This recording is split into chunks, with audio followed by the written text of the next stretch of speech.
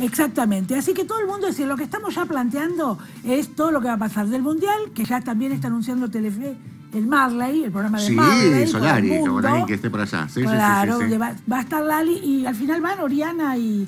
y Bueno, eh, Oba está en Italia, tiene ganas de ir, es una Está con realidad. Katy. ¿Por qué? Porque ahora pueden convocar más jugadores y dicen que a modo de grupo, lo lleva, aunque esté lesionado, lo llevarían a dentro del grupo. No sé si en los citados, pero dentro del grupo allá, total hay lugar de sobra, y ahí es donde por ahí la familia se engancha. Porque Talo Valle quiere ir, es futbolero. Eh, esto es una realidad. Hay que decirlo también algo importante sobre el Mundial, que es las dos primeras semanas, que es la primera ronda, es cuanto más argentinos hay, más famosos hay y mucha gente. Ahí es como que se parte. Después de las dos primeras semanas, se acaba la guita, se vuelven todos y quedan.